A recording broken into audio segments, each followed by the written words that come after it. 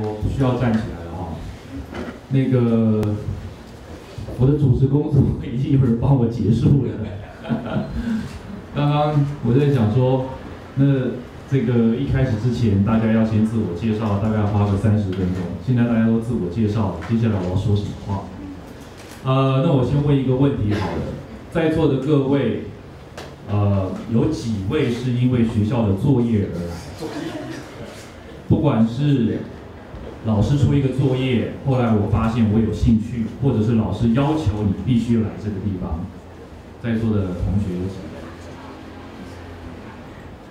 ？OK，好，那如果说老师没有出这个作业，大家会不会来？我说就是刚刚那个那个那个为了作业而来的，会还是不会，或是不一定？通常这个时候是不会有人回答。好，另外就是呃，除了为了做作业而来的，其他的来参加的朋友，我大概听了，多数是因为，要么是曾经接触过，工作上接触过。或者是家里面曾经有义工帮忙照顾过，或者是自己的亲戚朋友有这样子的经验。那还有就是可能是自己本身在其他国家曾经遇过一些歧视的事情，要不然就是看过一些新闻媒体的一些报道，就觉得想要了解这个议题。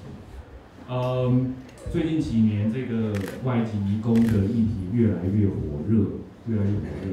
那这是一个好的现象。过去我们在理解外国人的时候，通常我们讲外国人讲的都是西方人、白人。那边有个老外，我们脑海里想到的是一个白人走过来，那个叫老外。如果一个黑人走过来，我们不会认为他是老外，他叫黑人。如果今天是一个韩国人或日本人走过来的话，你不会讲他是老外，你会说他是韩国人或日本人。然后今天如果说是一个移工走过来的话，你脑海里先想到的是他是一个外劳。好。这里出现一个很有趣的现象，外劳，不管他你要用什么样的名称，外劳还是移工，为什么所有的东南亚来台湾的劳工朋友，通通被称之为外劳，通通被称之为移工？为什么他们会被当成是同一个群体？他们被当成同一个群体，内部是不是有一些特别的原因造成？比方说，我们国家制度上面要去输入这样子的劳，我们的文化里面或者我们的社会里面，就是对于这样子一群人，哦，很遗憾我要用这样的词汇，这样的一群人，对这样的一群人，我们会不自觉的投射出我们一些我们自己没有意识到的价值，那个价值可能是一种上对下的观点或者上对下的态度。当然，很高兴是最近几年这样子一个移工热题，慢慢的被大家重视。我们也愿意去反省我们自己这个社会过去以来长期对于我们所认为的边陲世界、边陲国家的那种那种不友善的态度。那在这里我也特别高兴，就是呃看到很多的年轻朋友。以前我们在参加活动的时候，像这样子的活动来的都是大概同一个时代，老 Coco、老掉牙的人。那尤其今天看到在座有很多的高中朋友，我觉得这个是非常不简单的一件事情。而且还有，因为老师要求要去参加一个社会运动，所以呢就来这个场合可能可能连对社会运动是什么还不是那么清楚，就来参加这个场合，发出去总是一件好的事情。好，那那个闲话不多说，我们把今天的时间交给我们今天的两位主角，一位是这个我们一零九五这个计划的主要的一个负责人，来自云南科技大学的关胖，关胖小姐，关安妮小姐。还有另外就是呃，跟着这个计划的中心大学的江燕杰先生，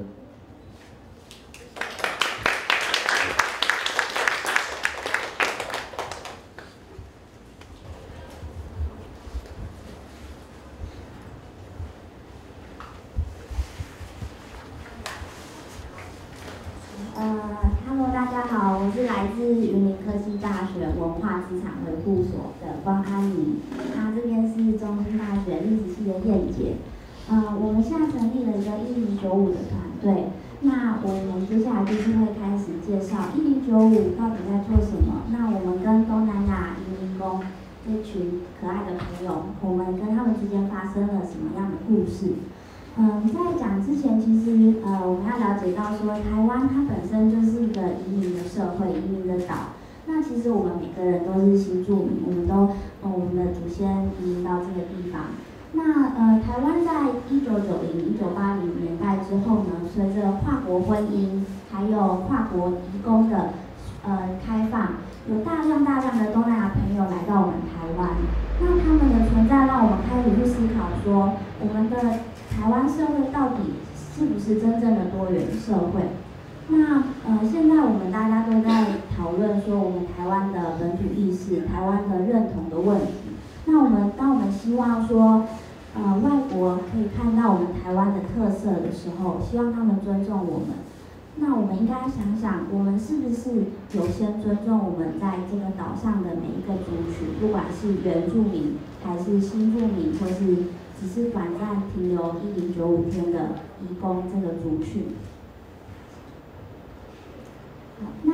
呃，今天呢，我们会特别针对呃蓝领阶级的移工这这群朋友，他们跟我们之间的故事做一个比较深入的介绍。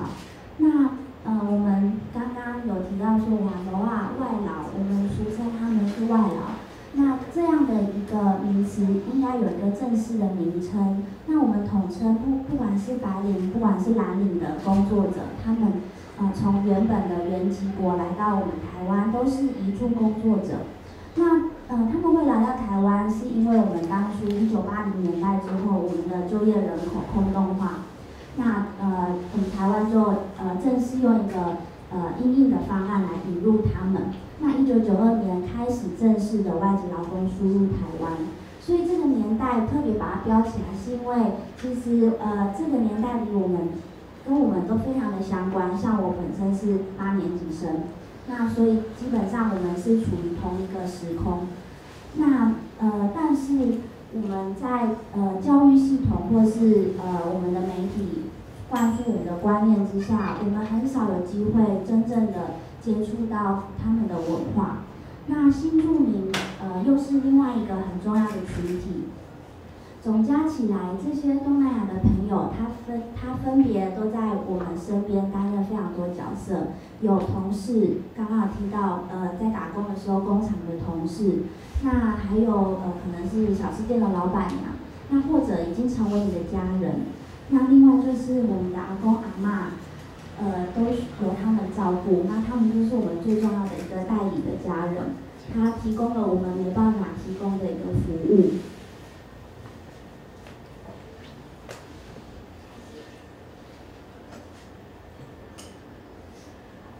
呃，那在这样的一个背景之下，就是我们呃组成这个团队的一个原因。我们一直觉得很疑惑，我们这一辈的小朋呃这一辈的学生，八九零年代后出生的学生，明明就跟他们呃息息相关。我们的城市当中有许多熟悉的风景，都都有他们的存在。但是为什么我们没有一个正常的管道、正常的价值观去看他们？那所以我们基本上，我们这个团队都是从零开始去接触这个群体。我们一样跟大家原本都带着偏见，带着原本设定好的问题去接触他们。但是接触他们之后，我们就不断的瓦解我们原本对他的想象。我们才发现说。我们的价值观还有国际视野是真的很狭隘、很单一，不够多元。那我们都把他们的国家想得太简单了，但其实他们拥有的呃丰富的文化是我们呃要花很长很长的时间才能够认识、才能够理解。所以呃我们就决定要接下这个挑战。嗯，我跟燕杰就是大家知道我们是不同的学校，那不同的背景啊，我跟他是一样，都是历史系，但是我们有更多团员是来自四面八方，我们都因为这个议题有兴趣，所以结合在一起。那我们现在想做的是一个就是观察社会的一个实验，我们已经呃利用了八个月的时间，从呃去年十二月开始做了田野调查。留下了记录，然后我们在十月份的时候有做了呃一个展展览，有些在座的朋友有去酒厂看。那接下来我们沉淀下来，我们决定呃再继续朝着这个议题再深入，所以我们接下来会用一些文化接触的方式，让自己还有让更多更多台中市民可以呃可以认识不同的东南亚移工的东东东南亚的文化。下一页。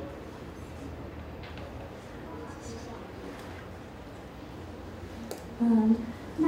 呃，我这边会稍微介绍一下我们当初是怎么跳进这个田野的。那呃，我们是用一个本来是从学术殿堂走出来的一个一个过程，所以一开始我们呃设定了好多好多问题，我们这些问题都是来自新闻媒体给我们的印象。那我们呃觉得这些移工他们碰到了哪一些不平等的对待？所以我们记录下来，那我们用呃比较直接的方式去跟他们接触。那一开始就是用问卷，那其实问卷后来我们发现得到的效益很低，但是其实也很很好玩。我们当初三月份的时候，台湾灯会在台中举办，那我们就跑遍了所有的灯会，在那边发问卷。然后呃，跟那是我们第一次这么近距离的接触，我们透过问卷这个媒介认识他们，主动跟他们讲话。那那个那次的经验虽然结果不是很完美，我们没有留下很多稳定的受访者的资讯，但是我们跨出了第一步。那第二个直性访谈，就是呃，应该是很多做田野的学生知道，这是一个最基本的一个方式。嗯，我们做完问卷之后，我们发觉怎么办？下一步是什么？我们要怎么深入他们的故事？那我们就决定回到其中一个团员，他们的家乡在东市，台中东市。呃，我们就去回想说，我们有多久没回家了？我们有多久？嗯，没有去好好的看我们现在家乡发生了什么事情。那这个团员就跟我们分享，他们家是种梨子的，高山梨。那那边有许多呃，不论是呃照顾阿公阿妈的家庭看护，或是比较敏感的逃逸外劳的这个问题。那我们觉得嗯很有趣，我们应该呃要跨出台中市区。就是呃大家熟悉的艺广这这个区域，我们想要先到农村型的呃乡镇去了解这些问题，所以我们就一直在东市驻点，然后做了很长期的一些访问。嗯，那因为尤其呃因为里面有很多故事，那可能在今天没有办法做很很完整的讲。那呃，我请团员现在先发一些我们当时做的期刊，那里面就是可以让大家参考。我们记录了六位呃外籍朋友，他们呃都是家庭看护，那还他们有呃有什么样的生命故事，你们都可以透过里面这个其他的文字做了解。好，那第三个我们田野的方式是用参与观察的方式。嗯，这些外籍朋友不论他们是什么宗教，那都是他们一个很重要的精神寄托。在台湾，他们呃朋友还有宗教是他们能够支持他们勇敢走下去的很大的力量。那呃，所以我们就。来到了他们的宗教信仰的一个场所，然后参与他们的节庆。那这是我第一次呃到台中清真寺，呃在座可能应该没有很多人知道台中清真寺在哪边。它在大墩南路，然后旁边是永春国小。永春国小它的造型就是呃清真寺的那个造型，非常的可爱。那呃我第一次来到这边。呃，那个教长他非常闪耀武教长，他非常的热情。那然后我被吓到，因为因为我本来想的伊斯兰教是比较封闭、比较保守的。那但是那次的经验让我发现，原来伊斯兰教，嗯，他们是这么的宽容，他们希望嗯不同的族群都能够来了解伊斯兰教的教义。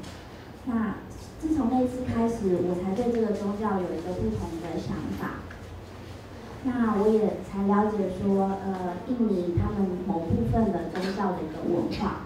那我讲某部分是因为其实印尼它有一万多个岛，那四百多个族种族，所以它其实不止伊斯兰教。那其实但是大家很多人会把印尼就等同伊斯兰教，但其实它拥有很多很多不同的当地的文化。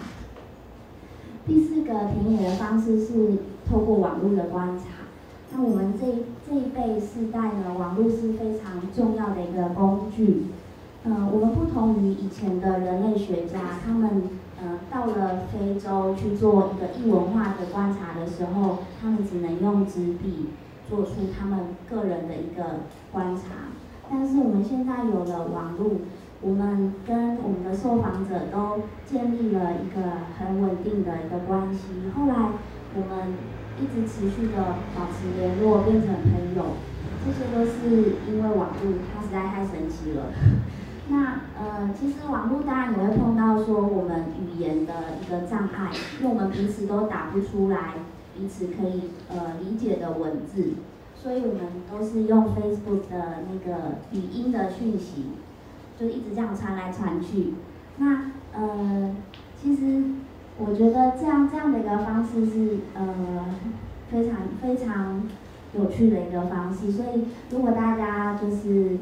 大家现在家庭里面有很多呃照顾阿公阿妈的朋友，那不妨就留下他的 Facebook，那三年之后他可能回到他的家乡了，但是你还是可以跟他继续保持联络，这是一个非常难得的缘分。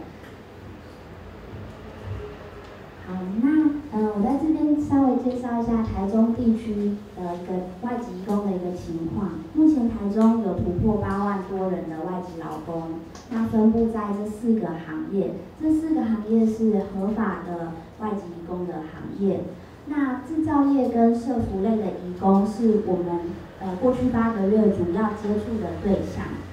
制造业，我们来到了一些台中的工厂。呃，有西屯的台中工业区，还有大理太平的机械代工厂。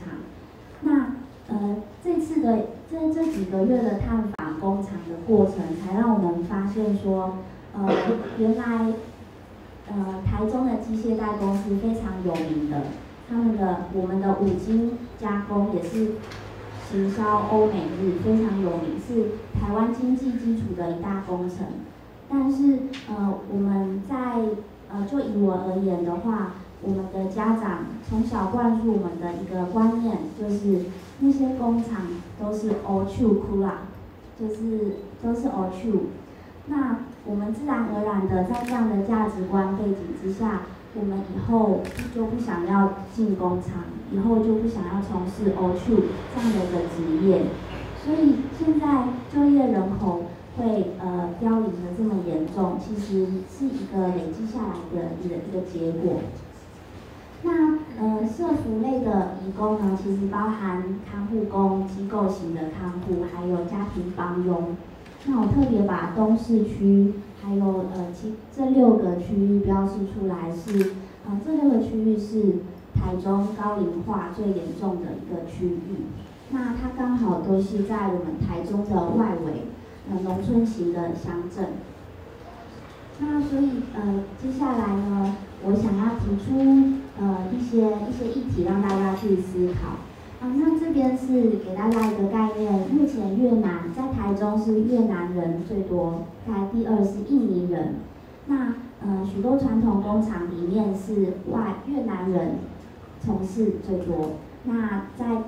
公园在家庭陪伴阿公阿妈的，则是印尼的朋友最多。好，那我想跟大家分享的一个问题，就是我们到了工厂，看到了呃这个现象，就是我们的传统产业明明就呃非常的厉害，非常的有价值，但是为什么我们的青年人口还是不愿意去从事这样类型的工作？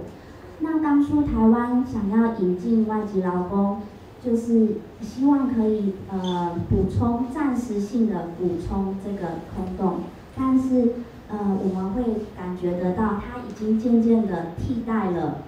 我们呃最主要的劳力，所以这其实是一个本末倒置的现象。呃，我们在没有完全准备好的情况下，我们就引入了这么大量的外籍劳工，对我们自己不好，对人家也是不好，所以呃，这就跟政策面有关系。所以呃，其实大家可以今天听完，可能稍微有有一点感觉，那我们就可以回去多多关注政府这方面的政策。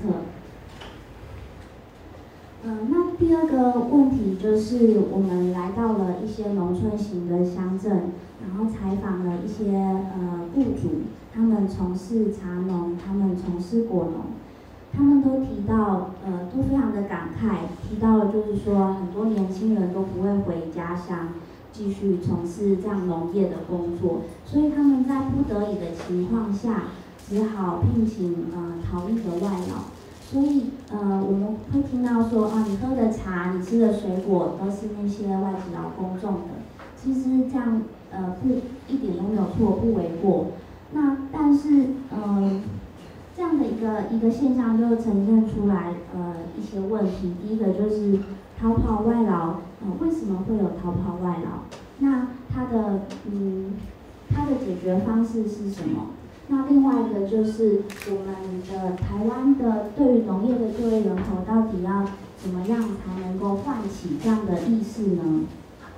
那这其实中间有很多复杂的呃一的一个一个结构。那我可以稍微讲一下，呃，我们也有也有访问到逃逸外劳。那大家如果翻到我们的期刊里面，会有一篇他的生命故事，呃。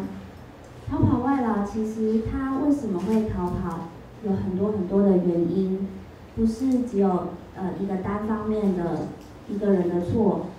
他就会逃跑，嗯，有可能是他自己的一个选择，那有可能是工作环境待遇不好不健全，那但是我们都相信事出有因，所以呃我觉得我们看待逃逸外劳，呃必须要。多多方面的去想，这这个问题并不是专情对他抓到他赚了业绩就可以解决的一个问题，所以呃现在就是大家现在这个移工的意识比较强，所以我们也可以就是大家来互相讨论说，到底这样的一个状况要怎么解决。好，那呃我们这场田野。呃，最后它转化成一个展览。那其实当初转化成展览就是我的一个目标，因为呃我在一年两年前看了顾玉玲的顾玉玲的书，呃，然后之后我又接触了呃台湾国际劳工协会。那他们就透过了一些呃劳工的培力课程，让他们自主性的去办展览。那其实对我的影响非常非常的大。我才发现用艺术去讨论社会议题是一个比较软性的方式，让大家能够呃一边去欣赏这些冲击性的呃视觉的东西，然后一方面去想，嗯，到底社会发生了什么事情。所以，呃，我们这次就决定用展览的方式去呈现。那，呃，其实陆陆续续，我们这近五年来，不论是民间团体或是博物馆，我们都很，呃，慢慢的去强调文化平权这个事情。就是博物馆一样，呃，每个观众都拥有一样的文化权。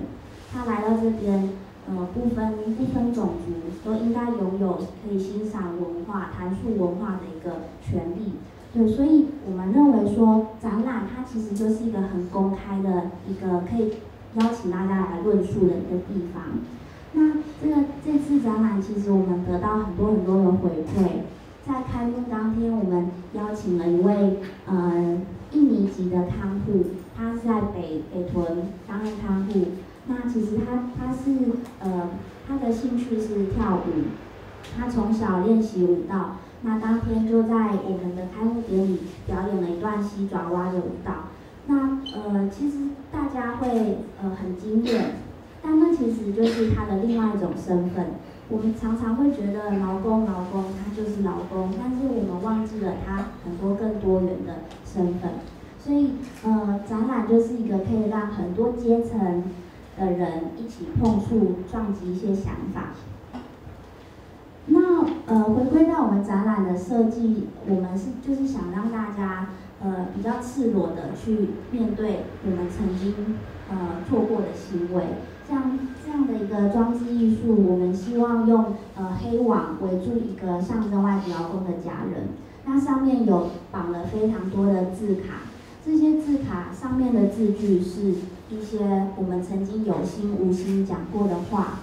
呃，例如说，哦，你香水味好重哦，然后或是呃，你你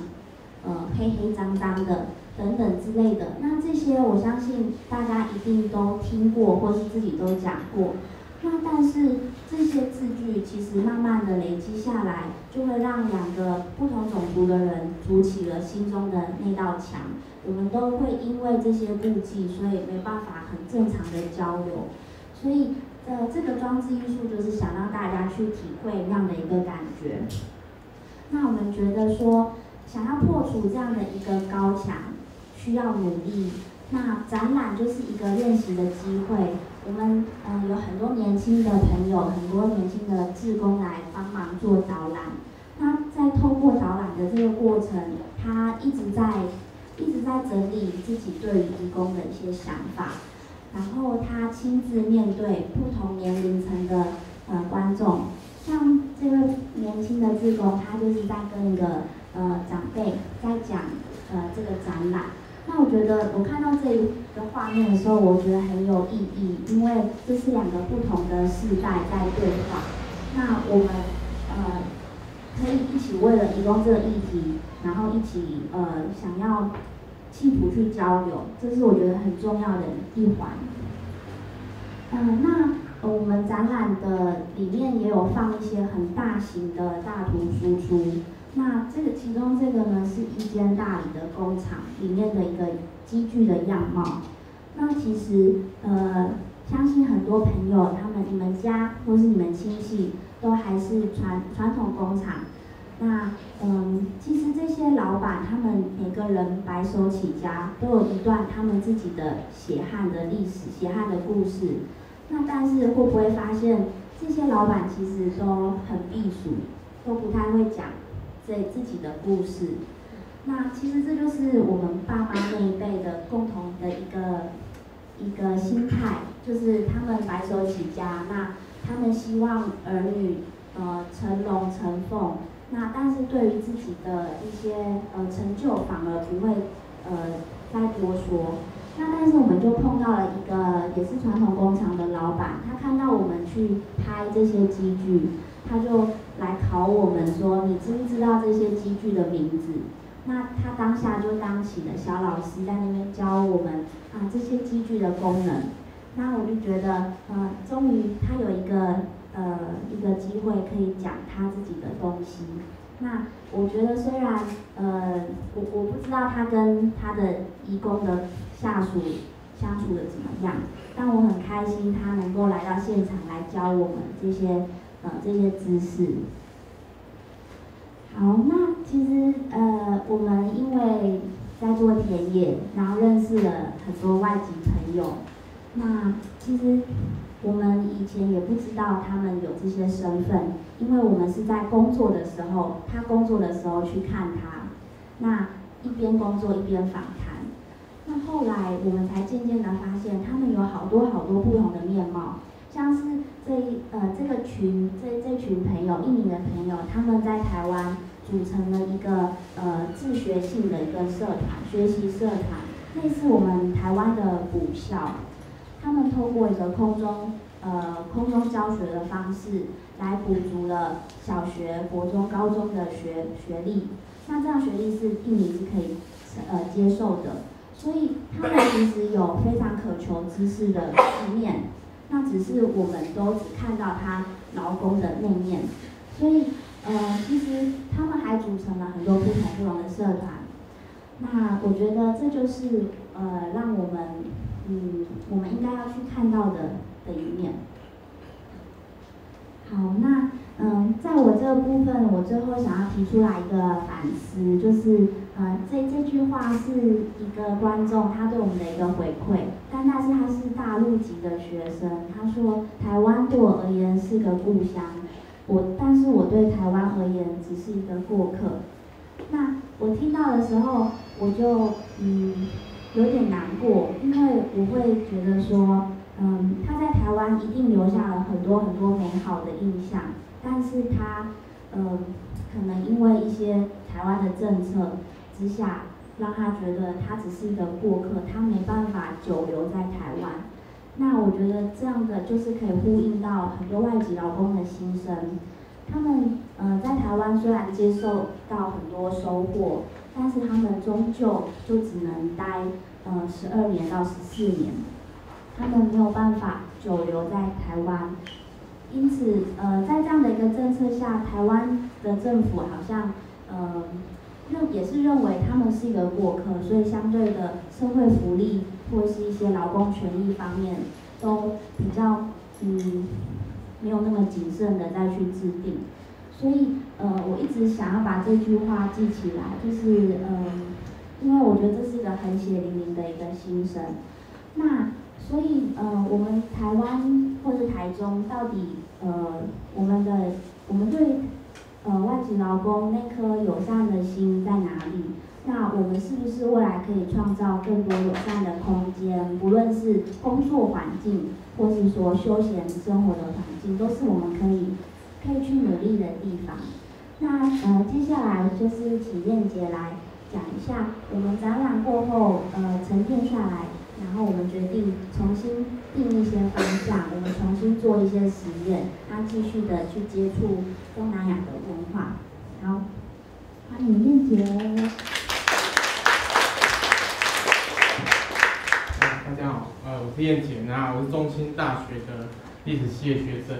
那我在大学的时候，就是有参加很多的服务的呃一个活动，或者说呃参加新闻社去做很多采访。那就是我们采去采访的时候，他就遇到就很很多人，呃，店家也好，或者说就是社会人士也好，就是说啊，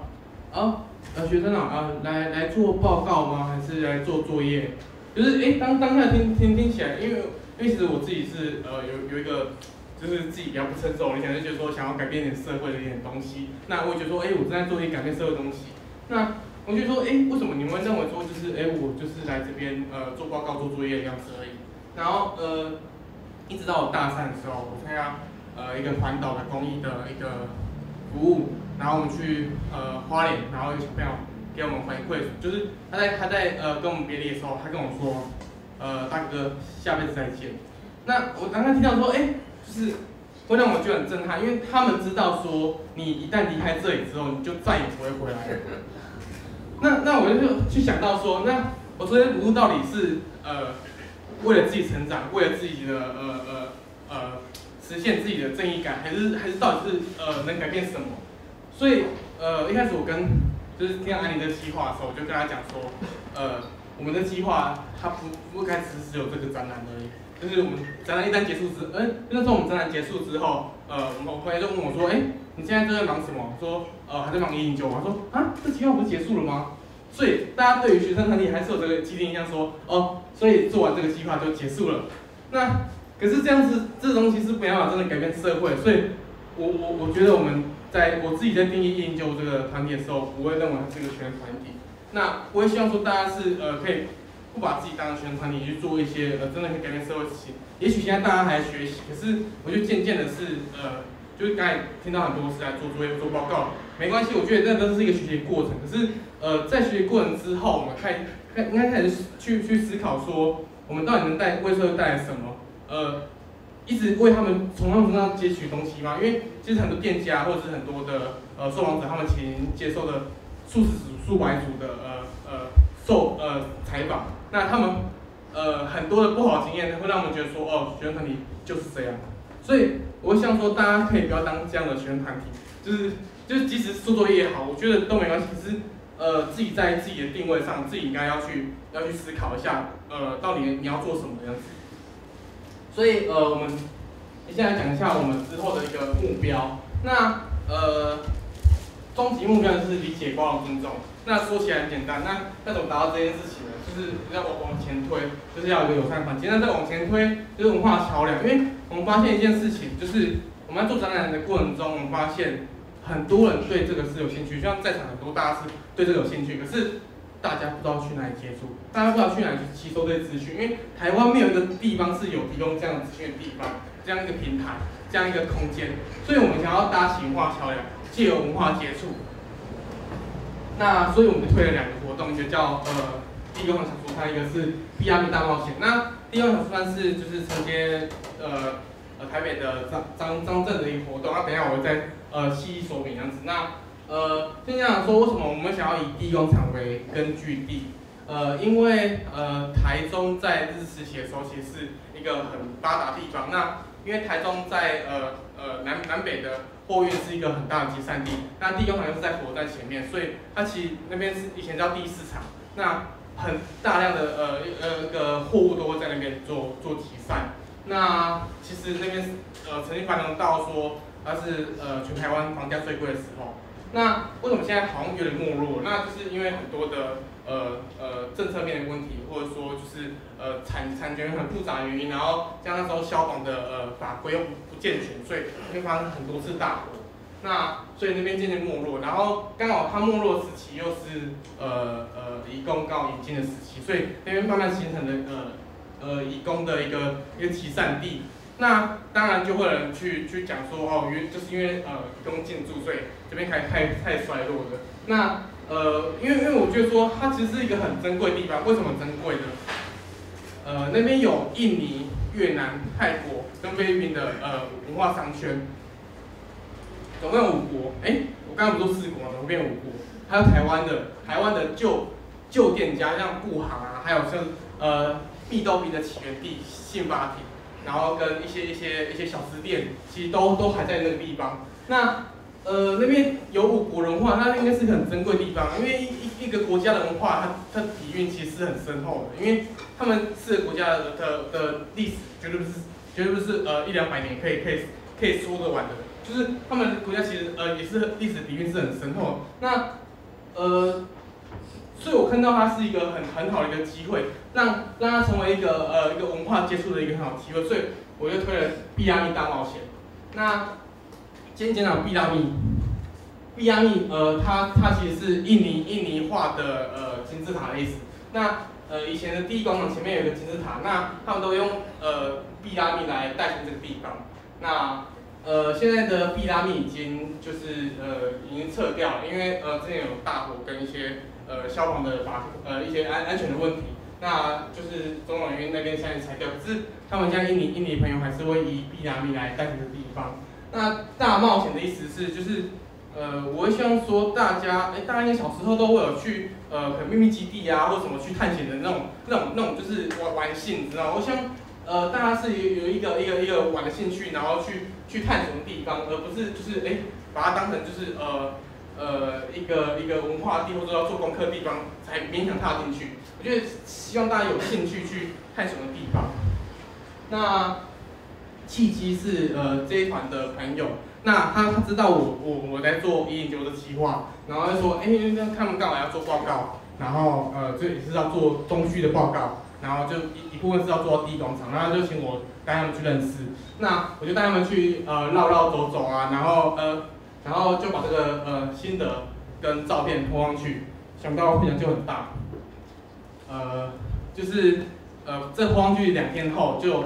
就就一个老师，他跟我说就是呃，请问可以参加就是星期天的的第一场导览之旅嘛？然后我就我就问他说，哎，老师你好，请问大概多少人？啊？他说哦一百五十人，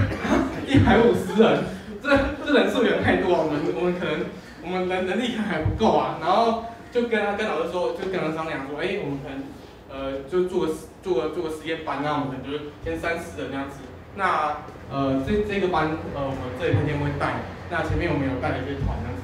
对，然后就让让我们让让我蛮惊讶，就是因为大家是对这个兴趣，然后渐渐的一次一次的，就是人越来越多，然后呃甚至是有些参加团员就是。变成我们的上次导演员跟就是我们上次记录，那呃就是做的做的计划开始之后，才发现原来大家对这个地方是有兴趣，是大家没有没有个机会可以去接触这个地方。那我们刚好对这个地方稍微了解多一点点，那我们就带大家呃去去去了解地方。可是其实我没有要带，就是我没有要给大家一个一个知识，大可是我是让稍微让大家去呃引导大家去探险的地方，因为大家是不敢进去嘛，所以我们只带大家进去而已。我们并没有要跟大家讲说哦这个地方就是这样，没有，我们没有要讲，所以我们是用体验方式去去去认识地方。那当然就是我们进去这地方，我们会有给团员一些呃，我觉得一些守则的感觉啊。那第一条就是射击四把枪，就是为什么我这样说？就是呃，你自己想想看，路上有人拿单眼相机一直对你拍，你感觉会如何？那我们这样感觉不好受，那为什么我们可以这样子去呃把摄影机大大对着别人拍？那我觉得这是一个怎么讲，在在在在拿当摄影机的时候，你应该要要去思考的一个问题，这样子。那第二个是。呃，己所不欲，勿施于人。呃，其实这个在台湾也常发生，是呃，我常常会说，呃，就是我我前阵听听到，就是我的朋友，呃，是中国一个朋友，然后他是来自泰国曼谷，然后就就有他他他就有同学问他说，啊，你们泰国现在还骑大象吗？就是就是在台湾其实发生，是原原住民就是花啊，不要讲原住民花脸，就就问就是就很台北的台北朋友可能问他问花脸朋友说，哎。哎，你们现在还骑山猪吗？就是就是这东西，我我我我自己是很难想象，因为我自己住乡下，所以我对这种东西是不会有这样的想法在。那所以我觉得，哎，就是你自己都不想要呃被人家这样子呃怎么讲，去去定义定义你，那你为什么要这样去定义别人呢？所以因为己己所不欲，勿施于人。然后第三个就是呃，因为那地方空间其实是很小，所以其实我们呃那么多人进去是会排挤到他们消费空间。而且他们一个礼拜只有休假一天，就礼拜天的，然后加上他们很多是从呃南投、云林跟就是各各地来的，因为呃刚才有呃前面安妮有提到，呃台中是呃好像少数拥有呃清真寺的台湾少数拥有清真寺的地方，那又又加上第一工厂是一个很大的一个一个消费的商商圈，所以。其实很很多地方的的移工会呃特地来到台中做消费，或者说跟朋友聊聊，就是做一个休闲的地方。那如果我们那么多人进去的话，其实会排挤到他们的消费空间。他们其实，在台湾的空间其实已经够少，那如果我们那么多进去的话，就势必一定会排挤到他们，所以就会让让大家是稍微有点分散的行动这样子，两三个一组这样子的行动。然后再来分享说，喜欢的力量大于。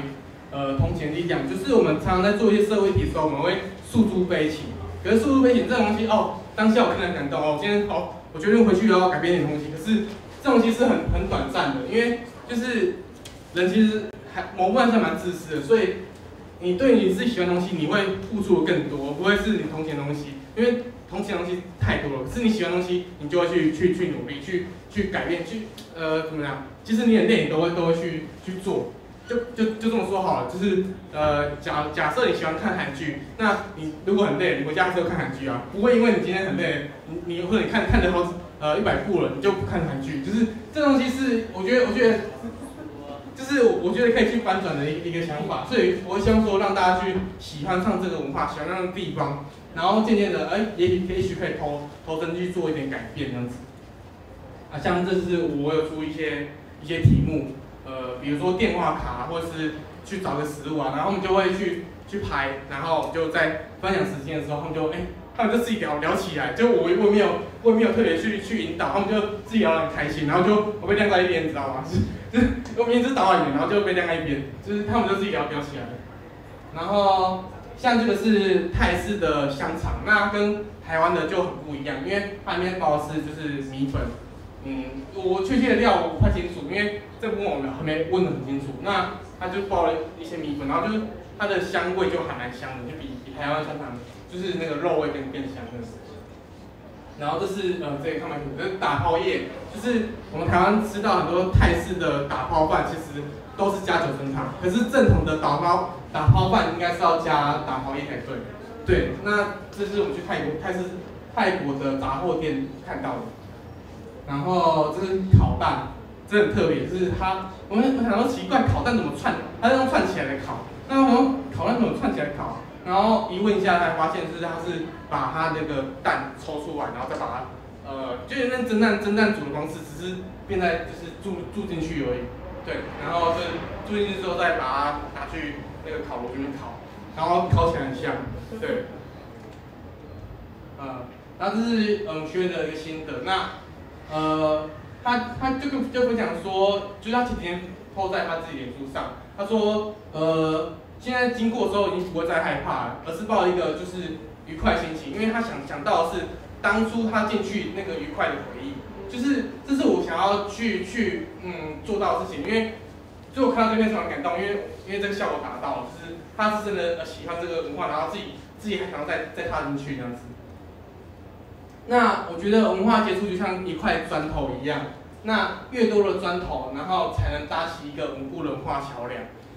因为你。我觉得，我觉得现在台湾的对于外籍劳工或者说呃东南亚人士，想象过于单一，因为都来自于媒体。那我们多多接触一点呃东南亚的人士，我们就建立建立不一样的印象，那就慢慢的呃更更多元，那才有办法去真的认识这个文化，这个这个族群。那这个是也是一个学员分享的，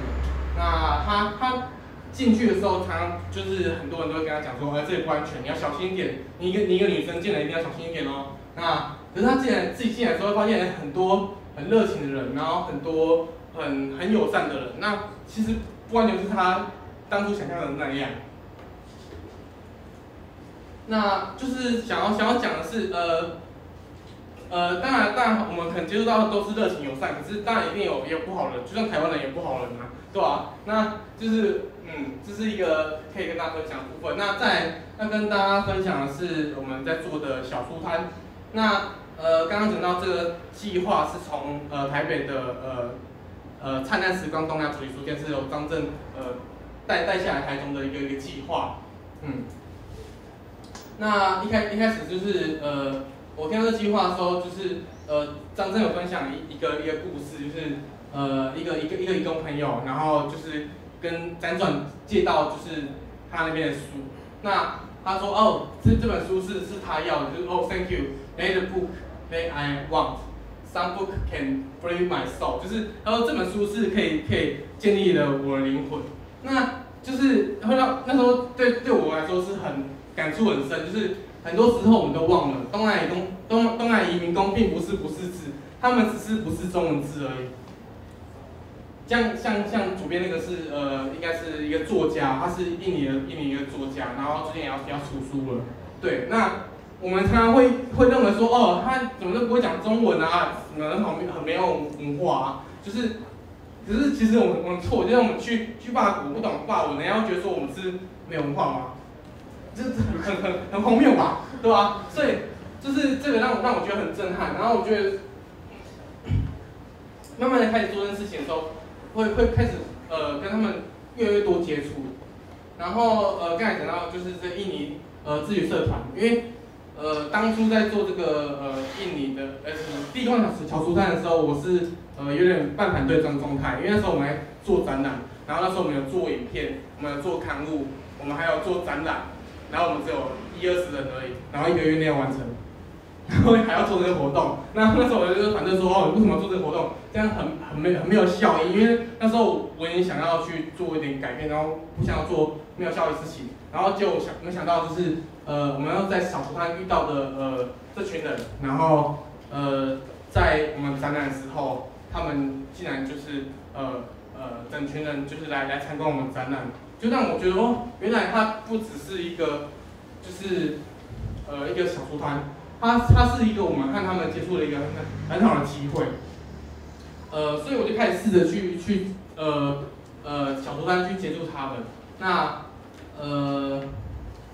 就是呃有有一次就是呃我跟我的呃我们的好朋友伊恩就是呃提到说就是我想要呃去拍就是呃因为我看到很多印尼朋友他们都会弹吉他唱歌，然后我想要去拍拍他们那个唱歌的画面。然后，因为我可是我不敢，因为呃，我不敢原因是因为我觉得相机又轻越大，就像我刚前面讲的，设计师是一把一把枪，我觉得会侵略到他们，所以就很不敢去靠近他们这样子，然后就拉着我过去，然后就问他们说，哎，我们可以拍拍你们吗？然后他们其实就很热情的就答应了，然后我们就听他们唱歌，然后就把他们那个唱歌的画面嘛录呃录下拍下来，然后就是给给给他们一一点鼓励，然后他们就很开心，就是会让我让我想到说，哎，其实他们有像我们讲的，就是跟我们隔阂很大吗？其实也没有。就是每个人听到鼓励都都觉得很开心，这这我觉得是很多时候我们我们没想到的。那我们未来会有一些活动，比如说电影院，比如说印尼跟泰文的歌谣交唱，然后还有美食节目的直播。那那美食節目美美食節目的影片，我们之前是有拍过，那我想是还不错，因为我觉得借借这种影片的方式，可以让大家去去去认认识这样子。然后我们未来希望说可以慢慢改造。地工廠讓讓它更更容易呃让台湾人进去這個地方这样子，然后最后是想要做到就是誒、欸、讓外国朋友帶認識台中这样子，然后再來要做个反思就是呃因为因为林佳龍市長說要把地工廠改成东协工廠，那就是关于东协工廠這件事情就是呃我们台湾常常会呃把他们定为定义为东南亚人，东南亚族群，那。他们真的喜欢那邊定义吗？就像我接触到泰国人，就是他他们他们是很很呃，他包容包容性是很强的。像我們常常會講說哦，泰國人妖，可是他們不會覺得，他們覺得泰國人妖這個字是很很很不可思議的，因為他們不會用人妖這個字來形容第三性別，就是呃，他們他們認為這是一個很正常的事情，就是你想要當當女生，想要當男生，那你就去當啊，就是我不會不會因為這樣子去拍起你你你當。第三性別的一個一個空間，那呃，像印尼朋友，就是讓我我接觸到印尼朋友，就是都很很很熱情，然後呃，就是会会很乐意去分享他们他们喜欢的东西这样子。那当然我接触到只是一小部分，可能还有不一样的的人。那慢慢接触，你会有更不一样的感受。所以我想套出的观念是说，呃，东南亚人真的是就是我们该要这样定义他们吗？那最后想要跟大家分享的是，如果你把这里视为一个问题，那你看到的都会是问题，而不是文化，一个由人类群聚而酝酿出的文化。好，这是地工厂，啊，谢谢大家。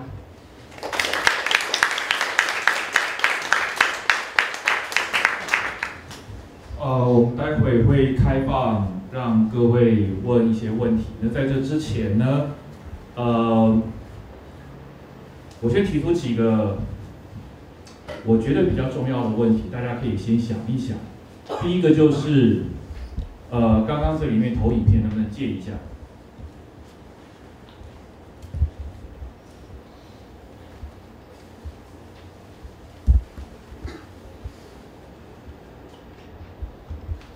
喜欢的力量大于同情的力量。如果你不喜欢呢？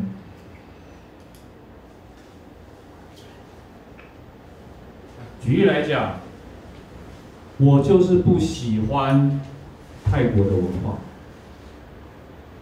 我就是不喜欢跟我说不同的语言的人。那如果是在这个状况之下，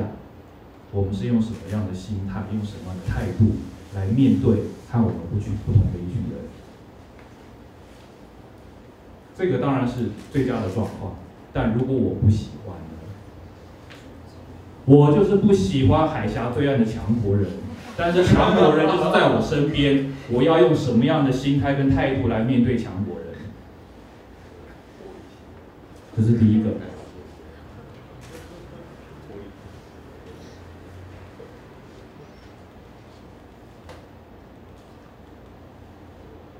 好，学会理解、包容、尊重，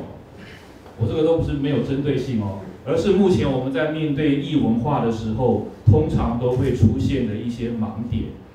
学会理解、包容与尊重，很容易。怎么做？我们要理解，要尊重，要包容。我们要理解，要尊重，要包容。我要理解，要尊重，要包容。这是你的文化，所以我尊重你。这是你的文化，我尊重你。我理解你，我包容你。好，我在这边跟各位举一个例子。台湾是还没有出现这个情形。如果我们真的开始迈向一个多元的社会，而未来呢，来台湾的移民人数越来越多，来自各国的国家的移民越来越多，我们去想象一下，假如今天台湾政府突然之间发现到面对全球的难民，我们不能够再置身事外了，我们要去接纳难民，刚好今天非洲某一个国家发生战争。有来自这个国家的难民出来，我们接受他了。好，这个非洲的难民呢，在他的部落里面，他们有执行一项现在被认为是对女性造成永远无法弥补伤害的一个仪式——割礼。好，那他来到这个地方了，我到这个地方的话，都会找到跟我相同的人一起住嘛，对不对？所以呢，难民就住在这个地方，成为一个群、一个聚落。这里面。他们照样把他在非洲的那个仪式带过来。我们要怎么去把这一段话、这一句话拿出来？你的理解要到什么程度？你的包容要到什么程度？你的尊重到什么程度？这是第二个。第三个，打造友善的环境。友善要到什么程度？如何打造友善的环境？台北车站的争议大家知道吗？台北车站为什么会有这个争议？因为那涉及到的是空间的问题。好，那另外一个事情是，如果我们要打造一个友善的环境，我们要去解放这一个原来只限定在呃呃只有那个特定供用途才能使用的空间，那么这样子一个空间。我们要解放到哪一个地步？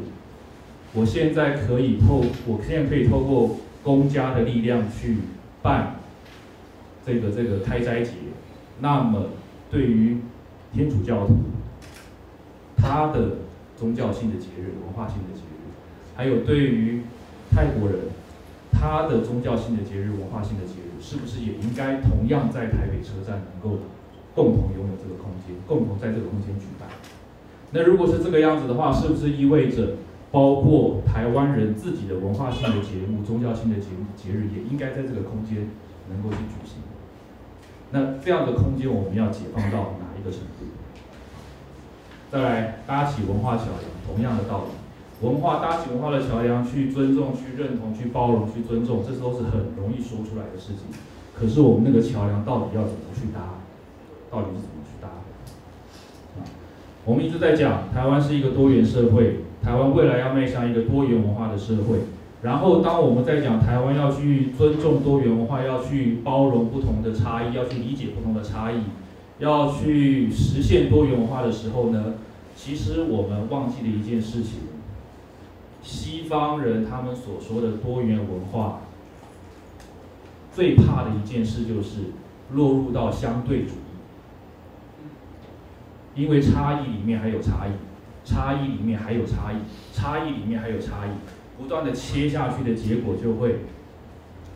我们一直在寻找的那个阿基米德原点会消失了，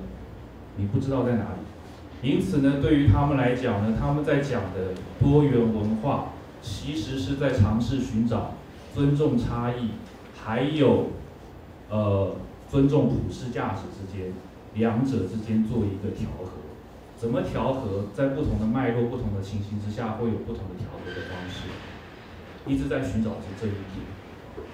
永远都是如此。尤其是对于我们像我们这样子一个长期以来都是单一，我们甚至可以说台湾就是一个国族的国家。虽然我们认为说台湾在这个移民工进来之前，我们有原住民。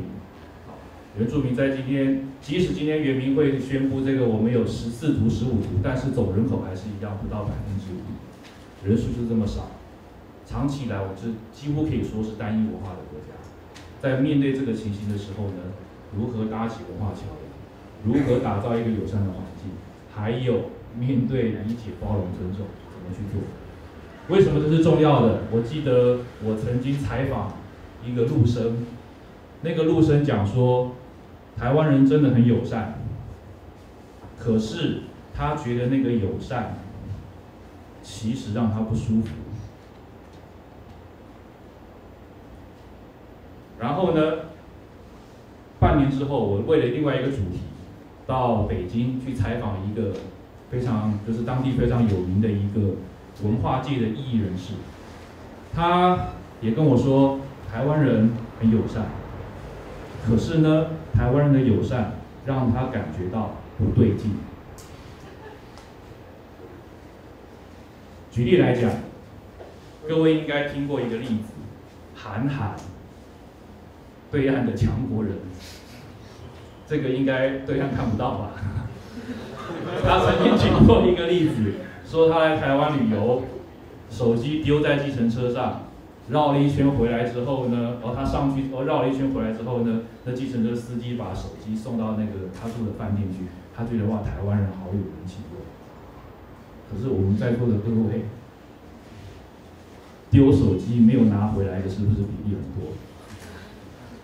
那我们丢手机拿回来，我们会说哦，我们台湾人好有人情味。我们有的时候，我们的友善，我们的理解，我们所谓的包容，我们所说的尊重，对于我们理解、包容、尊重的那一方来讲，其实很可能就是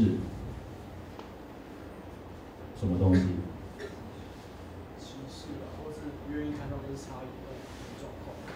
如果我不喜欢他，我就是不喜欢，那我要用什么态度？我不喜欢他，但是我仍然可以跟他和平共存，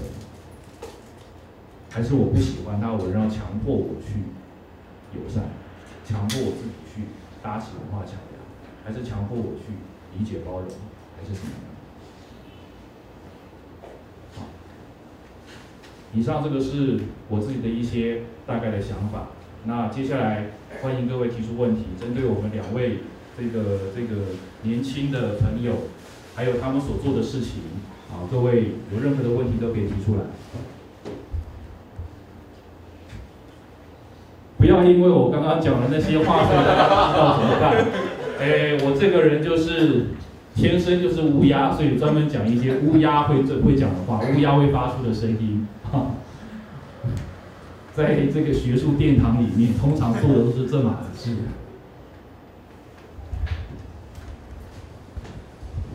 就我想要请问一下，就是说，因为现在目前现行的台湾的，就是劳委会，就是针对于呃外移劳工，就是这一方面的制度上的福利，对等等这部分，其实因为呃整个来讲的话，其实都还不是做的很。就是完善，对，比如说照顾啊，或者是福利这等等各个方面还有待遇，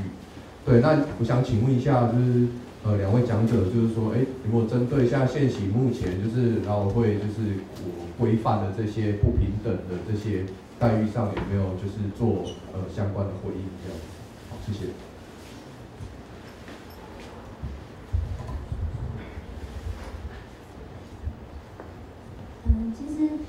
有关于他们的福利啊，或是薪资，这个都是我们最一开始，呃，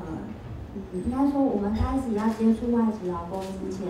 我们知道我们是想要记录他们的生活，但是我们接收到的资讯都是这些呃制度性的问题。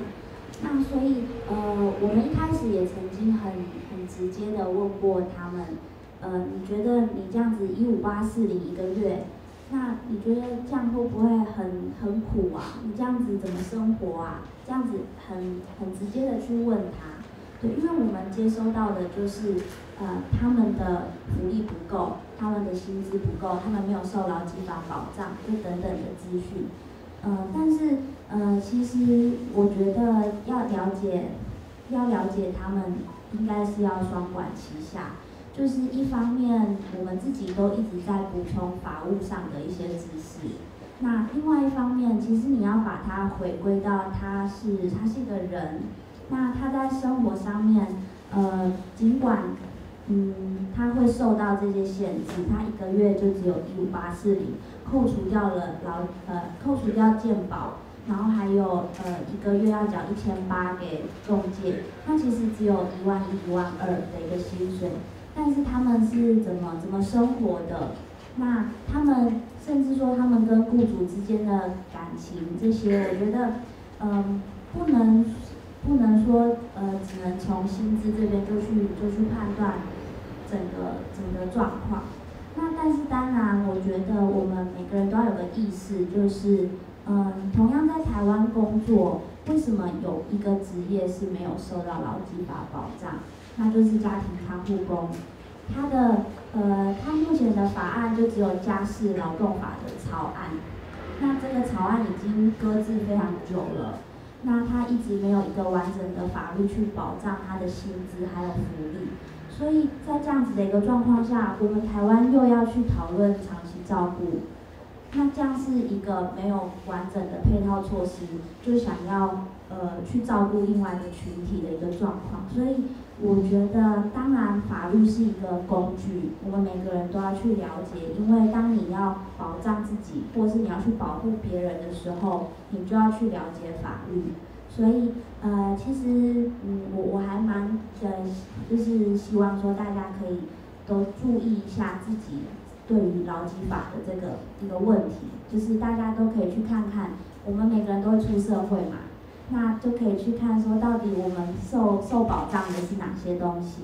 那相对的，呃，外国人他在我们台湾又没有被受保障的又是哪一些，这样子，嗯，谢谢。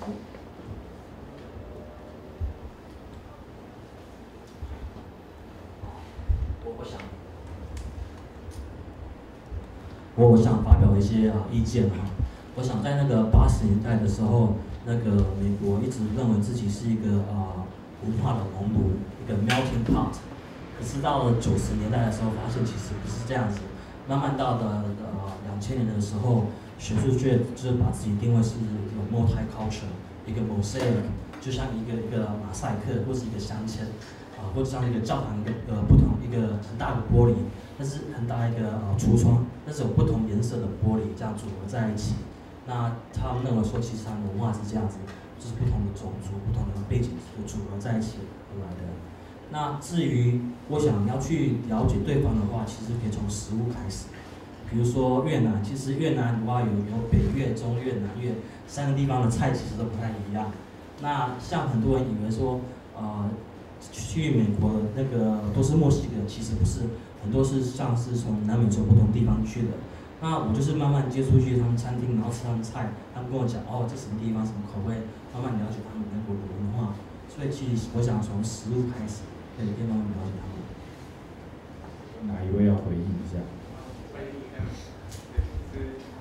看我的身材就知道，就是我爱吃。所以就是必拉密大冒险，就是有一半的时间都在吃。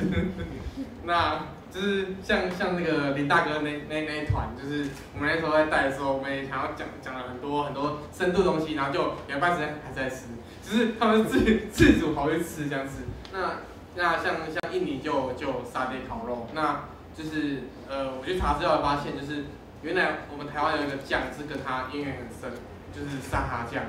沙酱其实它源源头是沙爹，沙爹的那个那个酱，对。那因因为因为呃印印尼的沙爹烤肉其实其实是呃呃世界上蛮蛮著名的一个一个美食，好像有进入前二十大吧，二十大美美美食名单里面。然后就是因为有很多华人会去会去印尼，然后把这个东西带带回了呃中国，那中国就把它带带回了台湾这样子。所以其实沙酱是有这样的渊源在的。然后像。呃，泰国泰国的料理部分，呃，其实台湾的泰国料理都是以泰北呃泰国东北的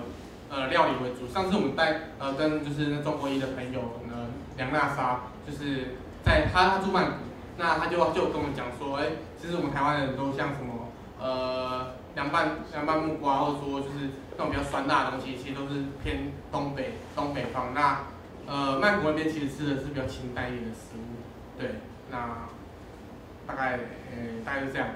那啊，我讲讲一下酸鱼汤，就是酸酸酸辣汤，酸辣汤也是一个很很很特别的一个食物，就是它就是我我喝了酸辣汤的时候，就是它它辣是会呃，就是你低头下去不会辣，然后就是会酸酸甜甜的感觉，然后再喝下去之后，那个辣辣它会降降上来，然后它的鱼肉就是吃起来不会辣，就是它是甘甜被锁在里面，就是很特别的一一道料理，就是你们要去吃的话就可以吃呃酸辣汤、酸鱼汤，或者叫冻羊，那个那个泰泰文好像叫冻羊这样子，你可以去问一下，就是冻羊这个这东西。好，谢谢。呃，刚刚我们这个长官呢，长官。关同学长官，他刚刚讲了一个其实很很重要的一点，好，如果我们的基本工资是有受到劳基法的保障，那独独只有外籍的移工是领一五八四零，排除在劳基法的保障之外，OK，如果有一群外籍移工觉得我们不要再领这个一五八四零的，我们就咱们集结成为一个协会吧，我们就组一个工会吧，工会就上街头了，就像官场工人一样，就像国道那个收费员一样，就像任何一个劳工团体一样，站到街头去争取他们应该拥有的基本工资，呃，没有任何台湾的劳工团体去协助哦。什么 T 瓦呀，什么台湾人权协会，通通没有哦，都退出了。什么原因退出，我们先不管，都退出了。我们能不能接受？台湾到目前为止只有一个外籍移工的工会，在宜兰，宜兰那边的渔工组织的工会，只有这一个。到目前为止没有其他的。我们能不能接受？能不能接受有一群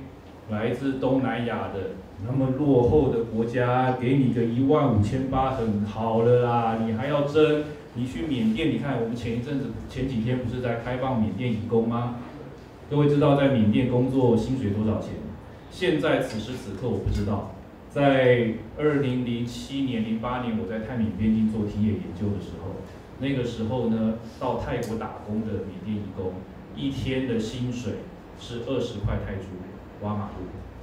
二十块，大家觉得很少吗？在缅甸境内是五块泰铢，他到泰缅边境是二十块泰铢，多不多？四倍，好多。于是我们就想，给你这么，给你个一五八零，再扣掉什么？那扣掉时速多少钱？一千多块。再怎么样，你还有个一万块嘛？你在缅甸，你有一万块，你要感恩，要知足，不要抗议了。还是我们能够支持？外籍的移工仍然跟台湾人一样拥有主工会的权利。还有没有其他的哪位同朋友？呃，你好，因为我本身是念那个国际关系，那我因为现在就是因缘际会在教科大的学生宪政与法治。对，那我是那第一个是第一个是今天的新的分享，是说就是因为刚好明年也是要准备选举，我们的选举，那我相信在座各位有很多就是因为你是关心这个议题的，呃，同好，如果可以的话，希望说明年选举的时候就是能够去多看一下，愿意支持那种就是一些或是会去关心这些议题的，就是这些选举人，要议员们，议员就是候选人。去去拖累他们这样子，而不是说就是好像永远都是依照所有这种是政党倾向去进行投票。那我认为这是一个非常重要的一个，就是我们自己对自己的权利或对他人权利的一个就是认知。那再是然后接续老师刚刚的问题，就是所谓的打造所谓的文化桥梁或友善的环境。我有朋友跟我说，他觉得吃斑鸠很残忍。或者是就是好像听说见好像越南的老公会会去吃猫咪什么这种状况，但是遇到这种就是这些所谓就是可能一个非常大的歧义的时候，那就两位的观点而言，我们要怎么样去打造一个理解、包容跟尊重的环境，对这种就是状况？要不要再开放两位朋友提问题，然后再统一由我们两位？年轻优秀的实作实务工作者来回答，还有没有其他呃现场的朋友？呃，我我呃，我在那个简报里面有看到，就是有有稍微聊到那个印尼的，好像自学的社团。我我比较好奇的就是，呃，他们呃所谓的自学性社团，他们呃都在自学呃怎怎样性质的呃呃呃呃提升，就是自我学习这样子。那他们是一个封闭性的社团，还是呃呃呃他们有实体空间吗？还是都只在脸脸书上面的社团？呃我我想了解这个，对。来，再一位，还有没有？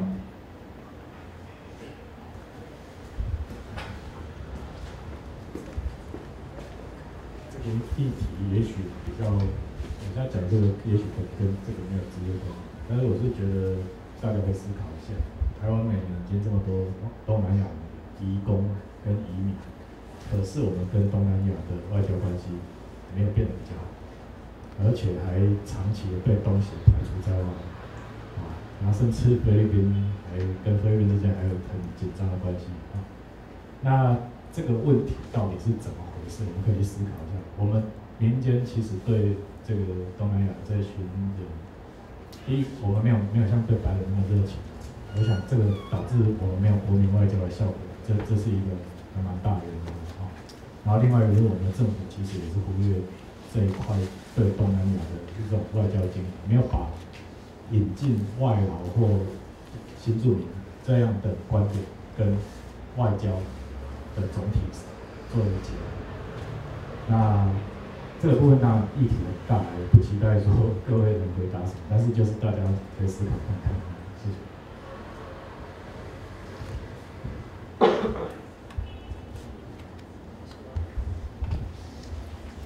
嗯，第一题就是刚才是说狗肉、猫肉这种很巨大的文化的差异嘛。那呃，我我自己我自己是呃，身边很多呃素食的呃素食主义者的朋友，那也他他们也推荐我看了一些很多关于食物食物相关议题的书，比如说像呃为什么呃狗是宠物，猪是食物？对，那我觉得呃。呃，这种文化的的差异，巨大差异，我觉得应该是要，嗯，呃，怎么讲？学会先先静下来，去去去观察观察观察这个人，或者观察他的想法脉络。因为我们看到是呃，他表现出来的那个单一的面相，就是他吃狗肉或他吃猫肉这个行为。那为什么他会吃狗肉？他为什么要吃猫肉？那像这个东西，我我有稍微查过。那呃呃，我查过的，我得到的的一个一个其中一个解答是说，就是他们那边是呃比较少，像我们那么多种呃那么那么多种的家畜的选择，他们他们的的肉肉类的选择其实是比较单单一的，所以狗跟猫就是他们比较接近的一个一个食物来源，所以他们习惯就就吃这些东西。那就像我们台湾也会吃像什么蛇啊，或者是什么什么，之前我听听说什么。活鱼三吃什么之类的，或者说什么猴脑，这个东西不残忍吗？就是这东西，这东西也很残忍啊。那为什么我们会觉得说这个东西残忍，然后就觉得说吃狗肉吃猫残忍？那我觉得这东西是要需要时间，需要嗯，先放下成成见，然后呃，试着用对方的观点，先先先看看他他怎么想，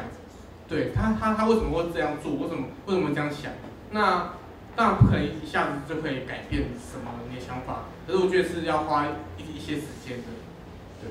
那这是我对第一题的回应。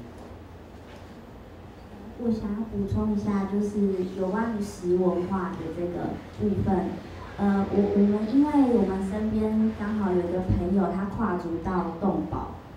的议题，然后他本身也是我们义工的一个伙伴。所以他一直就是很挣扎，因为他动保的的朋友，他很非常的对于义工团体非常的反感。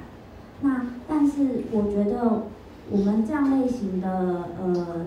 团体反而是一个中介者，就是嗯，当然吃狗肉、吃猫肉可能有他们的历史脉络，是他们国族的文化之一。但是，呃，我们也要让他们有一个很清楚的概念，就是你来到另外一个国家，虽然没有要叫你完全的，呃，就是，呃，习惯我们的台湾的文化，但是至少法令上你必须要遵守我们的法令。那对于呃这个吃狗肉的这个行为，目前在台湾就是一个不合法的一个行为，是会受到呃罚，就是会有罚金的。对，所以我觉得像这一类型的呃一些告诫或是一些法律上的知识，我相信呃应该应该要有更多的管道让他们知道，让他们知道说呃其实他们我们可以试着去理解他们的文化，但是你到了另外一个国家，要必须还是要遵守当地的一个法律，所以我们的我们的看法都是嗯就是不会那么的极端。我们不会希望说大家完全去包容，呃，就是所谓的东南亚文化，但是我们希望可以先试着去理解，为什么他们会有这样的行为。那不要在没有试着理解的这个努力之之前，你就去用的偏见去看人家，因为我们其实也不希望我们去外国，人家就是。呃，以前以前他们外国人叫我们是 chink，那这是一个非常呃呃非常非常不好的字眼，对，所以呃所以我觉得就是我们要以这种这种心态去去跟他们交涉。那另外一个第第二个问题就是林大哥提出来的一个问题是自学性的社团，他们的他们为什么会组成，然后还有他们。到底是怎么运作的？其实我觉得很有趣。呃，我们目前其实有接触了大概三四个团体，然后我们都称为他们叫文青团体，因为刚好他们呃从事的都是有关于阅读或是教育性的社团。那我可以举一个例子，就是呃一个印尼的一个文学性的社团叫 FLP，他们是全球性的社团。只要呃在各个国家有印尼的印尼人，然后他们加入这个社团，他们就可以在呃这个社团里面进行写作，进行他们呃的嗯文字的出版。所以那在台湾也有一个台湾的分支。那当我听到这个消息的时候，我觉得很很惊讶，竟然有这样的一个社团。那其实他们的力量非常的庞大，他们也出版了很多书。那再来就是说，嗯，我们刚刚介绍的那个社团，它其实是一个有跟印尼当地的呃教育系统有接上，就是有合合作契约的一个社团。因为呃，他们透过那个社团排的一些课程，那他们可以呃完成他们未完成的学历。对，有些有些人的确是在印尼没办法完成小学。到高中的学历，他们就来到台湾，但是这并不代表说他们不想学习。那很我我们看到很多例子，还有说顾玉玲的书里面都看到，他们摆脱了原本的那个环境，到就是农村的环境，到了外国，他们反而丢掉了很多束缚，他们开始很努力的去争取一些权益。这我觉得这应该是一个惯性，就是。像我们出去外国读书，我们都是带着一个呃，就是像我是民雄人，然后我以前都会觉得，嗯，民雄好就是好烂，因 为我要想去台中，想去台北读书，对，那呃，我们当初一定也是用这个想法去看自己的家乡，然后所以我们到了国外或者到了其他城市都特别的拼命，想要去积极的参与很多社团，对，所以我觉得。就是这样的一个心情之下，才会导致他们在台湾或是香港、新加坡，他们都有很多各式各样的社团。所以，嗯，今天是介绍了其中一个。那我觉得可以，如果你们身边或是家里面有呃外国朋友，可以试着问问看他说，除了脸书上的社团，你你们是不是还有参加其他社团？然后你们可以交流一下，我觉得很有趣。还有没有哪些就哪些人有问题？我们再开放两个问题，好了。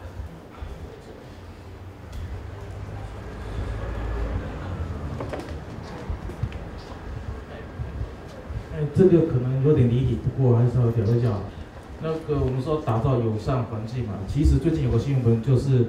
有一个原住民朋友，他为了九十四岁的母亲要吃那个三香肉，啊，结果他去打去打，结果然后被这样被判了三年四个月还六个月。六个月。对。然后你想看看原住民朋友他在不管是从四九年迁来从迁来台湾的那些难难民嘛，跟跟我们自己土生土长这些台湾的也好嘛，你看到没有？他们原住民朋友他在跟我们相处了四十几年了，我们不管是哎不管怎样，我们用得包他们吗？好像没有哎。而且说是单一国族嘛，我总觉得那个是被教育出来的单一国族，那并不是本来的样子。就好像我们对东南亚的印象嘛，我我们为什么会觉得他们不怎么样嘛？小国小国寡民的，那可是我们自己台湾寡小国寡民啊，为什么会瞧不起人家？那是因为从以前历史课本开始看起来，都说哎，讲到暹罗泰国啊，朝贡的越南啊，这个朝贡的啊，韩国这也是朝贡的。每个国家都朝贡的，然后就变成说，我们明明就小国小国寡民的，是吧？怎么大家都是来朝贡的？哎，我们就变成那个压根大国族的心态。而且而且而且，如果之后我我以前读的那种日治时代的文学，然后惹拉娘嘛，下南洋或者去槟榔屿要去哪里？去这边去那边都赚钱的，去发达，代表说那边商机很多，是很那个，怎么会？对，到我们这一代，我觉得啊，印尼、东南亚啊，这种阿萨不大所在，你看，就就尤尤其是我们父执辈，应该是更明显吧。你你看到，如果随便跟家人聊聊，哎，你娶这，你娶这外人的好不？迄个俗啊，那个楚乖啊，来啊，楚做代志安尼啊，啊啊，不是越南，是是印尼，因为越南越南话讲啊，这吼，越南都唔好娶，这吼会较拗口的阿萨不大，诶，嗰个男人勾勾搭搭，这唔好娶。我想，如果有被那个家长说，哎，要要不要娶外籍新娘的，应该会相当相当会这样的意见，嗯，所以说，哎，大概是这样子。下一位。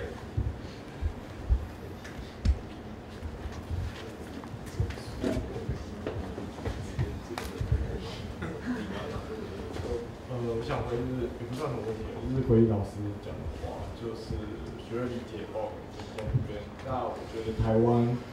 还算，台湾其实异文化很少，没什么异文化做的。若或者是去欧洲、英国那边的话，刚才讲就是开始，我我可以介绍，就是我在英国读书嘛。那呃，像他们他们那边的确是文化冲突是非常严重的，尤其是呃，我说是像移民好了。他们的根本上的差异是，举个例子好了，就是像我之前有做个研究，法国法国他们在两千零六年还是两千零九年，萨科齐那个时候有那个禁止那个禁止呃穆斯林就是回教徒，他们穿二零六啊，对，啊你就谢谢，做穿那个呃 cap，cap 就是那种有露脸那一种，哎有那。对，有露脸那种，对，对对对对，跟 burka，burka 是全部都照那种。然后后来，后来两千零九年又进步，就是更就是更严格规定。那是因为法国基于他们认为的就是一个世俗主义，但是伊斯兰他们认为他们伊斯兰做那种是有宗教装扮，所以基本上这个价值观是非常格格不入。所以我觉得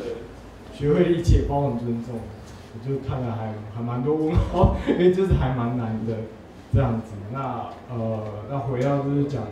台湾这边的话，台湾为什么到现在还没有那么严重的，就是跟东南亚，就是义工好，我讲义工好有冲突？我觉得很大部分就是就就就就说就是是义工的，就代表说他们是不是移民？就是说说难听点，就是他们比较像是保险套就是。用过后就可以丢，所以就是所谓一零九五，那就是老讲说为什么工会很难，不是很难有工会，因为他们待一下子，然后他就把他们请回去，所以就是我觉得是跟西方，我说尤其是欧洲，欧洲所谓他们的心里想的那种多元化主主义，虽然还是表面上的多元化主义、世俗主义，但还是很多冲突。但是台湾相较来讲，就是比较不会有冲突的，是一个小的，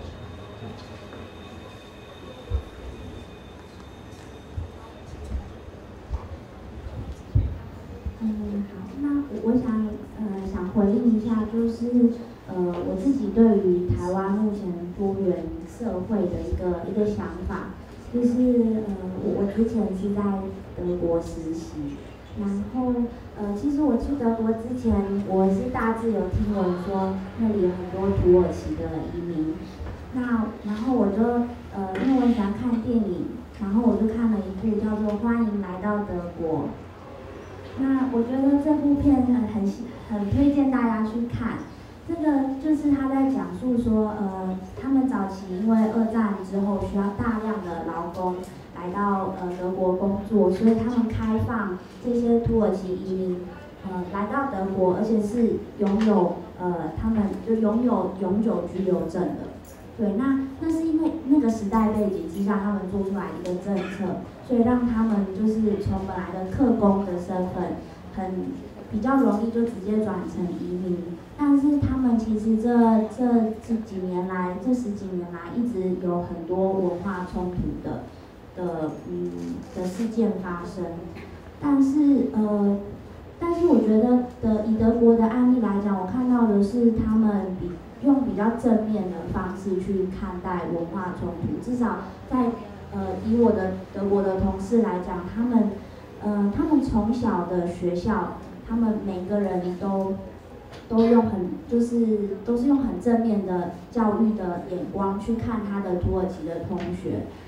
呃所以呃我觉得那现在又在台湾又有很多新住民第二代的问题。所以我觉得教育这个东西很很重要，因为你从小你旁边的同学就都是，呃，有很多都是新住民第二代，那呃老师该怎么教我们这个观念？那呃父母父母亲又要怎么去去接纳这这些不同种族的第二代？我觉得是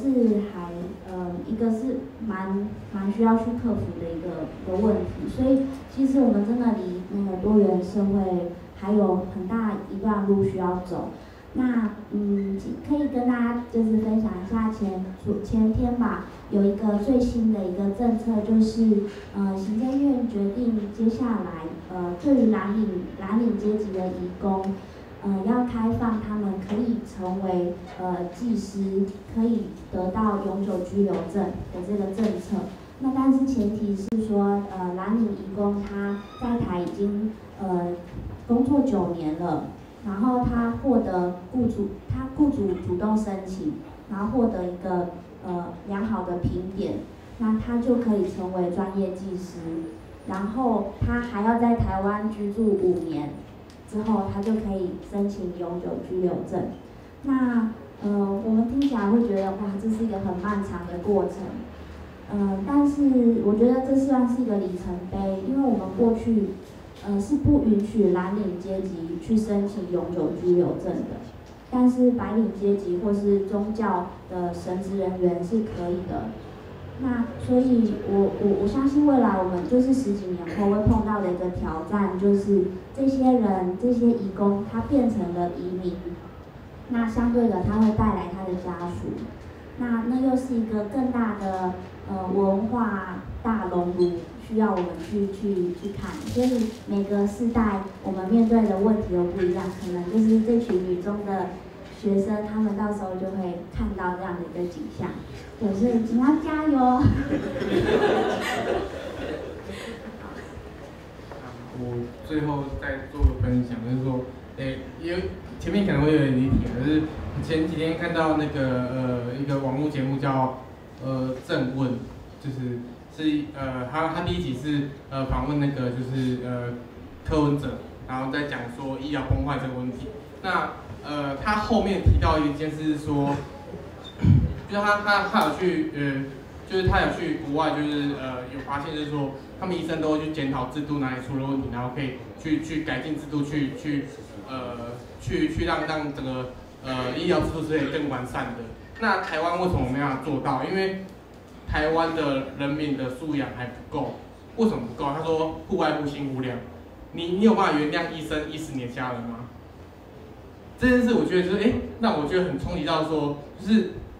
当我们的一个一个社会没有到户外不辛苦量的时候，整个社会是没有真正提升的。他说，呃，他提到一个案例是北欧有一个一个那呃忘记是什么制度，就是他们会有一个医生的小组会议，然后就是呃假设今天今天他医死了，然后我们现在是可以坐下来好好聊聊说，那那那好，你说实话，你为什么医死了呢？呃因为这个这个问题，我发现，因为我自己在社团中很常发现这个问题，是大家想要推卸责任，因为大家不想被指责，因为我不想被被指责啊，所以我就不说实话，我就说很多借口，很多很多理由。那整个社会是没办法去改变制度，因为我是从制度面上来看的话是这样，就是我们我们没有到人民没有到达一定水准的时候，是没办法去让社会更进步，社会更更更完善的。所以我觉得说，呃，这这件事是一个长久的一个一个一个计划。我觉得在场大家都是一个种子，然后大家都可以去改变你自己身边的人。我觉得改变不是说你一定要哦，像陈伟霆或什么什么其他政治人物一样，去去街头抗议啊什么之类的。我觉得不用，就是你只要影响你一你身边的一个朋友、一个家人、一个一个一个一个其他人，我觉得这样就是一个很好的一个改变。所以我希望说大家是可以慢慢去去呃把今天得到一些收获，然后回去好好思考，然后呃思考了一些结果，那也许跟你的朋友分享，然后呃让你朋友一起参与一些一些一些改变这样子。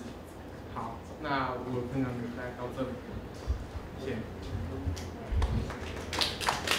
呃，我们今天这个讲，今天这个分享大概就是到这边结束。搭起文化桥梁，打造友善的环境，学会理解、包容与尊重，这个是非常理想的一个状态。可是呢，从刚刚呃各位朋友还有我们两位这个年轻的优秀的年轻人，大家互相讨论出来，其实我们大概可以知道一件事情：这样子一个理想的状态，如果没有涉及到制度的改变，这个理想的状态是不会出现的。而这个制度的改变，最根、最症结的一个核心是，我们要不要去重新思考，什么叫做国家，什么叫做国族，什么叫做 national culture，什么叫做公民权？如果今天蓝领的移工能够获得永久居留权，难道我们仍然期待他继续跟他的家人再分离个五年、八年、十年？还是我们要开放他的家人能够拥有团聚，就是在在台湾的蓝领义工能够拥有家人团聚权，让他的家人来台湾团聚。当他的家人来台湾团聚的时候，后面就涉及到的是什么？保险，涉及到的是支出，涉及到的是就医，涉及到的是他们可能还有下一代的教育，而这些涉及到的是制度，涉及到是公民权。我们要重新思考这个公民权。如果没有重新思考这个公民权的话，这样子一个理想的世界恐怕是不容易达成。好，今天非常高兴，呃，我们长官小姐还有我们这个江先生来这边跟我们分享他们的这个田野的心得。那今天的这个座谈会到这边结束，谢谢大家。那在跟各位预告下礼拜择舞之前，就是想跟想帮朋友就是。打个广告，对，那就是在大雅，在昨哎，在明天晚上十二月五号的六点到九点，在大雅的甲熊爸，就是那个早餐店啊，在大雅明星店的贾雄爸，他们要办一个青年影展，对，那要播的电影是艾琳娜，对，就是之前的一部国片，那其实。这个团体是大雅跟后里的几个青年，他们就是组成的一个团体。那他们也希望透过用影展的方式，去谈论一些就是在地，就是一些一些青年回到在地之后，他们如何去组织，那如何回到家乡，就是一起打拼，想要改造家乡。那如果你是刚好是大雅人或者是后里人，是在地的朋友的话，也欢迎你可以到。就是明到明天，就明天跟他们一起来参加这样影展，然后跟他们一起做讨论。那下礼拜呢？下礼拜的折舞，我们是跟国际特色组织合作，那有一个活动叫做，对，写一封信救一个人。那其实这个是十二月国际特色组织的写信马拉松的活动。其实，在世界各地，除了我们比较关注的，诶，之前在中国是有一些维权律师，也因为帮一些所谓的一些比较弱势的族群讲话，有被中国政府非法的囚禁。那其实，在各个国家，例如马来西亚，例如缅甸，其实都有这样的政治犯或者是良心犯。那下个礼拜就是要谈论这个议题。那有兴趣的朋友一样欢迎，就是七点半我们一样在好办。对，我们下礼拜见。那一样就是，其实哲学星期五就是由一群志工组成的。那我们没有任何的薪水什么的，但是我们一样会有一些支出，例如说场地费，或者是从外地来的讲者，我们会帮他们资助一些交通费。所以，如果各位朋友如果今天刚好钱包零钱比较多很重，想要减少一些负担的话，就是就可以把一些多余的零钱就是投到我们的义助箱。对，那这个是就是随随大家的心情，就是对这个是不强迫的。那如果有可以就是做这样子译著的朋友，那欢迎你就是赞助一下哲学星期五。那今天就先到这里，谢谢大家。